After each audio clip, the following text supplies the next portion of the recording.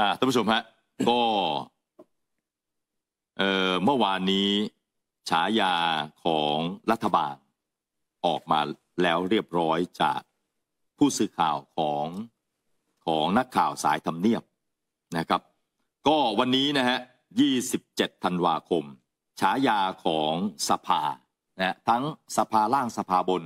ออกมาแล้วจากสื่อสายรัฐสภานะครับ นี่ครับ ก็มีความเห็นร่วมกัน ในการตั้งฉายาการทำงานของฝ่ายนิติบัญญัติ ทั้งสสและสว เป็นธรรมเนียมปฏิบัติกันมาทุกปีทุกปีนะครับ ซึ่งก็รัฐบาลสภาชุดนี้ก็เป็นสภาใหม่ หลังจากการเลือกตั้งเมื่อพฤษภาคมที่ผ่านมานะครับ สภาผู้แทนราษฎรได้รับฉายาว่าสภาลวงละคร นะฮะสภาที่มีการชิงไหวชิงพริบเพื่อเป็นเจ้าของอำนาจ มีการเจรจาจับมือกันหลายฝ่าย โดยในครั้งแรกพักเพื่อไทยเล่นตามบทเป็นมวยรอง แต่สุดท้ายใช้สารพัดวิธีพลิกกลับ มาเป็นแกนนำจัดตั้งรัฐบาล มีแต่การหักเหลี่ยมเฉือนคม ตั้งแต่การเลือกนายกจนถึงประธานสภาผู้แทนราษฎร แม้กระทั่งการหักหลังฝ่ายเดียวกันเอง ระหว่างเพื่อไทยกับก้าวไกล ที่เคยเป็นฝ่ายเดียวกันจับมือต่อสู้กันมาก่อน จนถึงขั้นฉีก MOU ซึ่งก่อนหน้านี้พักเพื่อไทยเล่นตามบทของพักอันดับรอง จับมือกอดคอกันอย่างหวานเจี๊ยบ เปรียบเสมือนโรงละครโรงใหญ่ที่มีแต่ฉากการหลอกลวงนะครับ สภาลวงละครสองวุฒิสภาได้รับฉายา แตกปอรอ retire นะครับล้อมาจากฉายาของวุฒิสภาในปี 65 คือตราปอ ที่สวทำหน้าที่รักษามรดก คณะรักษาความสงบแห่งชาติ เพื่อประโยชน์ของสองปอคือปอพลเอกประยุทธ์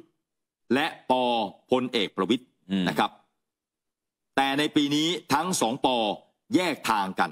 ซึ่งในการลงมติเลือกนายกที่ผ่านมา สวสายปอประยุทธ์ ลงมติยอมสนับสนุนนายเศรษฐา สวนทางกับปอประวิทย์ที่งดออกเสียง และสวกำลังจะหมดอำนาจหน้าที่ ในเดือนพฤษภาคม 67 จึงเป็นเสมือนการรอเวลาเกษียณหมดเวลาการทำหน้าที่สว คือรอ retire อืมนะครับ วันมูหะมัดนอร์มะทาประธานสภาผู้แทนราษฎรได้รับฉายาวงเล็บนะฮะวันนอมินี วันนอมินี วันนอมินีนะฮะก็เรียกท่านว่าวันนอวันนอ แต่นี่เติมไปอีกสองพยางค์ฮะวันนอมินี เนื่องจากตำแหน่งนี้ มีการแย่งชิงกับพรรคก้าวไกลและเพื่อไทยมาก่อน ก่อนที่จะเห็นร่วมกันว่าใช้โคต้าคนนอก พักเพื่อไทยจึงได้เสนอชื่อวันมูฮัมหมัดนอมาทาสสบัญชีรายชื่อ หัวหน้าพักประชาชาติในขณะนั้น เป็นประธานสภา พักก้าวไกลก็ยอมรับ ดังนั้นนายวันนอจึงเป็นเสมือนนอมินีของการแย่งชิงครั้งนี้ ทั้งที่จำนวนเสียงสสที่มีไม่ได้เพียงพอต่อการชิงตำแหน่งประธานสภาเลยนะครับ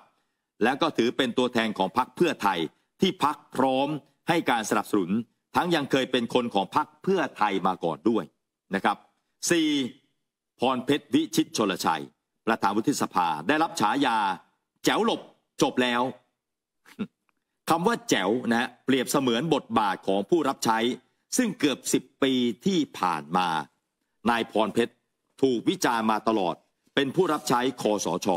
แต่เมื่อเข้าสู่รัฐบาลที่มาจากการเลือกตั้งยุคปัจจุบัน บทบาทนายพรเพชร ในฐานะประธานวุฒิสภา พยายามหลบแรงปะทะ ไม่แสดงความเห็นที่เสี่ยงต่อการสร้างความขัดแย้งมากนัก รวมถึงไม่ออกสื่อเพื่อรอเวลาวุฒิสภาหมดวาระ ในการทำหน้าที่สว6ปีในเดือนพฤษภาคมนี้ฮะนี่ครับแจ๋วหลบจบแล้วอืม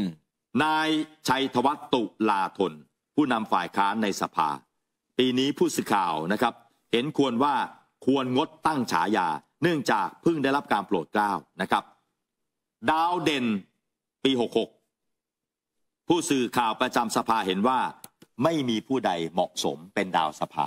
อืมนะครับ ไม่มีผู้ใดเหมาะสม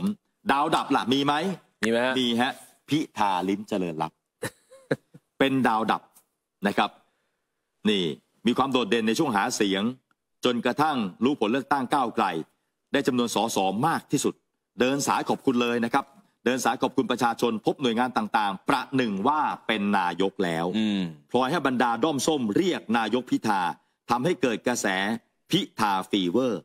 เรียกนายกพิธาเลยนะครับ ตอนนั้นนะครับ สุดท้ายกลับไปไม่ถึงดวงดาว สภา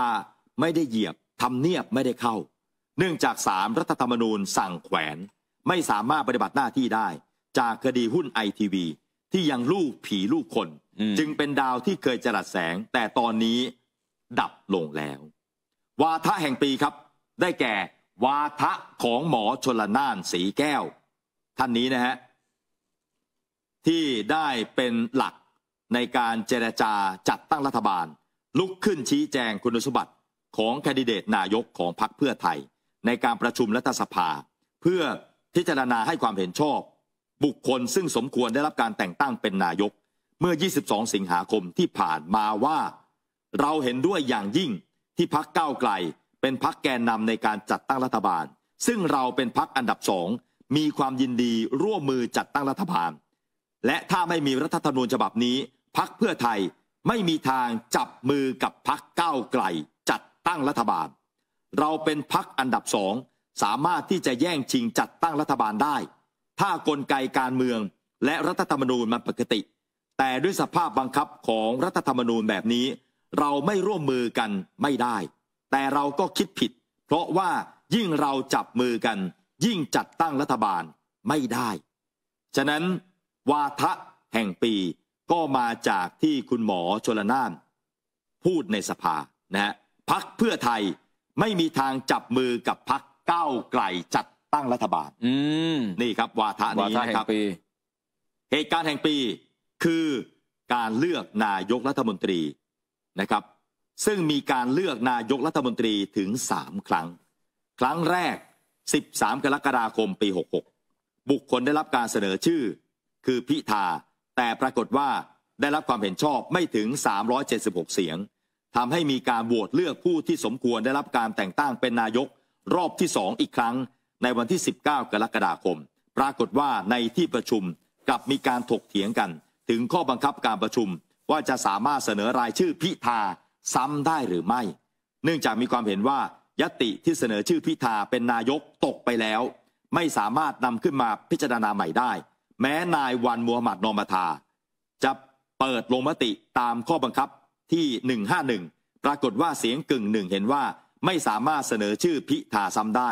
จากนั้นช่วงเช้าวันที่ 21 สิงหานายชัยธวัฒน์แถลงส่งไม้ต่อให้พักเพื่อไทย เป็นแกนนำในการจัดตั้งรัฐบาล และช่วงบ่ายวันเดียวกัน หมอชลนานในนามของพักเพื่อไทย แถลงข่าวจับมือตั้งรัฐบาลเพื่อไทย 314 เสียงกับ 11 พักการเมือง ที่เคยเป็นพักรัฐบาลเดิม ในสมัยของพลเอกประยุทธ์ เป็นเหตุให้ 22 สิงหาคมนะครับต้องนัดประชุมโหวตเลือกนายกเป็นครั้งที่ 3 เป็นครั้งแรกในประวัติศาสตร์ หลังเลือกตั้ง ที่ต้องมีการโหวตเลือกนายกถึง3รอบ จึงได้นายกเศรษฐามานะฮะนี่ คู่กัดแห่งปีครับ ปีนี้ผู้สื่อข่าวลงมติเห็นว่าควรงดตั้งฉายาคู่กัดแห่งปีอีกตำแหน่งหนึ่งอืมคนดีสีสภา สื่อมวลชน สายสภา บอกว่านะครับ ก็ไม่มีสว ไม่มีสสคนใด เหมาะที่จะเป็นคนดีสีสภาอืม โอ้โหท่านผู้ชมฮะ ไม่มีเนี่ยต่อต่อเนื่องเป็นปีที่ห้าไม่มีเลยนะคนดีศรีสภา ไม่มีคนดีสีสภา เห็นไหมฮะมันสะท้อนจริง ๆ นะฮะอืมโอ้โห ไม่มีไม่มีดาวเด่น ไม่มีดาวเด่นะมีแต่ดาวดับ ไม่มีคนดีสีสภา อันนี้ผู้สื่อข่าว ซึ่งเขาทำงานทุกเมื่อเชื่อวันอยู่ที่ทำอยู่ที่สภา ฉะนั้นก็ต้องฟังเขา อืมเพราะเขารู้เช่นเห็นชาตินะฮะสสสวทุกคน แล้วก็ออกมาแบบนี้